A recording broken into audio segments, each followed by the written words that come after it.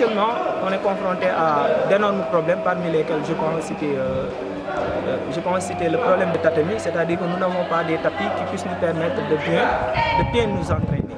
Donc euh, il nous faut des tatamis, il nous faut aussi des gants.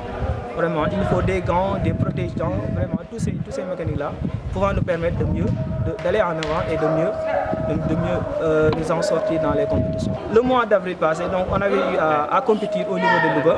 On avait eu à compétir au niveau de Louga, vraiment. Donc, euh, mais vraiment, on n'est pas sorti vainqueur du fait que on n'a pas de, on pas de, matériel qui puisse nous permettre vraiment de, de, nous épanouir, d'avoir certaines, certaines grades. Donc pour ce faire, il nous faut des matériels pour, pour, pour, pour mieux compétir.